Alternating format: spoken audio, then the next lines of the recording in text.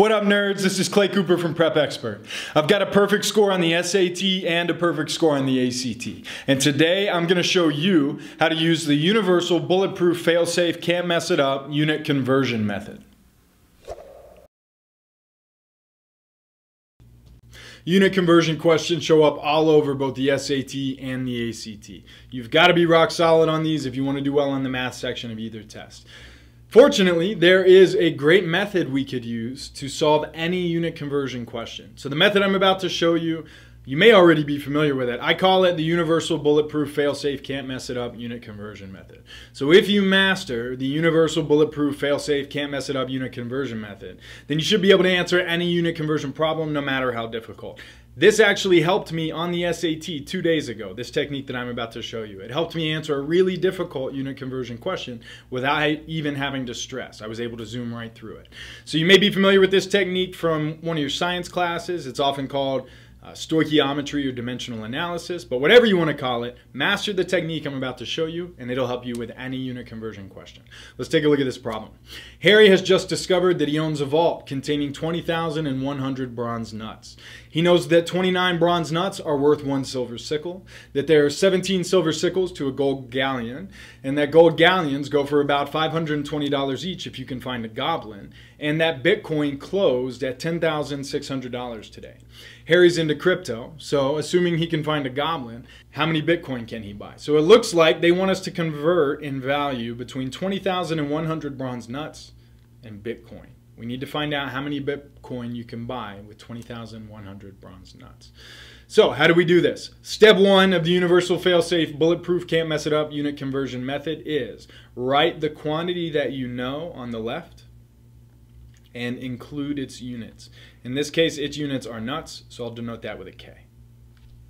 So again, step one of the universal bulletproof fail-safe can't mess it up unit conversion method is write the quantity that you know on the left and include its units. The next step is to write an equal sign and a blank and the units that you want on the right. In this case, we want Bitcoin. Now, I don't know what the unit symbol is for Bitcoin, but we'll use this fancy B that I've just drawn. So I've got 20,100 bronze knuts on the left. That's step one. I've got the units that I want on the right, Bitcoin equals blank Bitcoin. Now what do I do? Now I'm going to multiply by a series of fractions. Each one of these fractions needs to be equal to 1. Now let's talk for a moment about why each fraction needs to be equal to 1. The point of making each fraction equal to 1 is that I do not want to change the value of Harry's money here. I'm not trying to find out a different value than the value he possesses. What I'm trying to do is express that same value, but in different units. So because I don't want to change the value, everything that I multiply needs to be equal to 1. If you multiply any quantity by something that's equal to 1, you don't change the value of the quantity. You just change the way it's expressed. So every ratio that I multiply by should be equal to 1. How should we build the ratios? It's really easy. We're just going to let our units guide us. Let our units guide us. So for instance, right now, in the quantity that we start with, what units do we have? We have bronze knuts. Do I want bronze knuts, though, in my answer? No, I don't. So how can I get rid of them? Well, they're currently in the numerator. So to get rid of them, I'll just put them in the denominator. And now they'll cancel. Awesome. But what can I equate bronze knuts to so that I can complete this fraction in a way that's equal to 1? Well, I know that 29 bronze knuts are worth one silver sickle. So I can say one silver sickle over 29 bronze knuts is equal to 1. If one silver sickle is worth 29 bronze knuts, then one silver sickle divided by 29 bronze knuts is equal to 1. So I've successfully moved one step closer to the units I want. All right, what do I do now? Just multiply by another fraction that's equal to 1. In this case, I'm trying to get rid of sickles. So I'll put sickles in the denominator.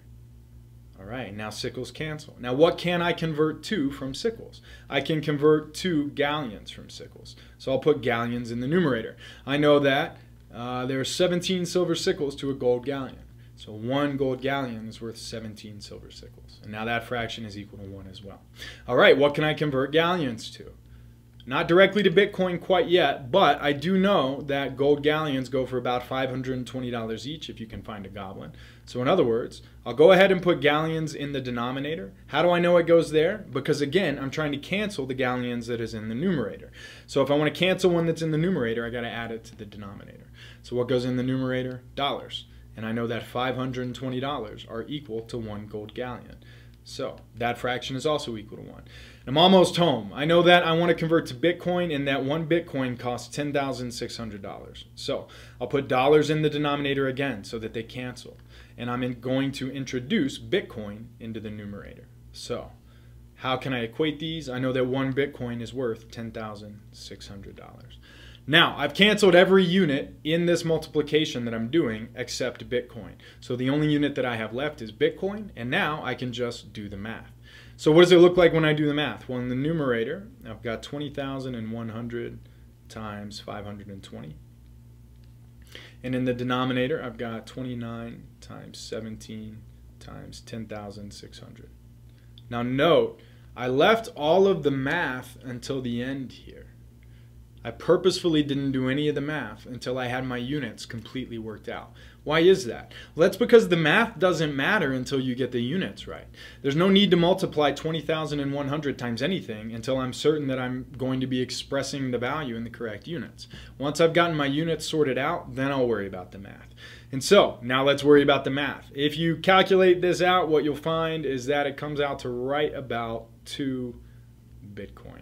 So it looks like Harry's 20,100 bronze knuts are worth approximately 2 Bitcoin. If this were on the real SAT or ACT, they'd give you precise instructions about how to round your answer.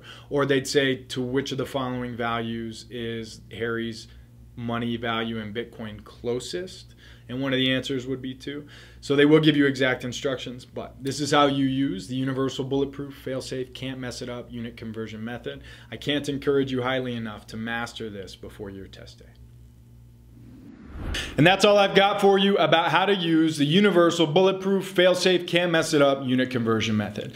Please don't forget to throw us a like if you found this video helpful. You can also subscribe to Prep Experts YouTube channel for other videos just like this one. Leave us a comment too and let us know what you want to hear about in our next video. What do you want advice on from a two-time perfect score? Let us know. We might feature your comment as the topic for our next video. You can also find a coupon code in the description for this video that'll give you discounts on all of our products on our website, prepexpert.com. You can use that coupon code to sign up for a course with myself or another instructor, or to sign up for tutoring if you'd prefer that. So until next time, keep working hard.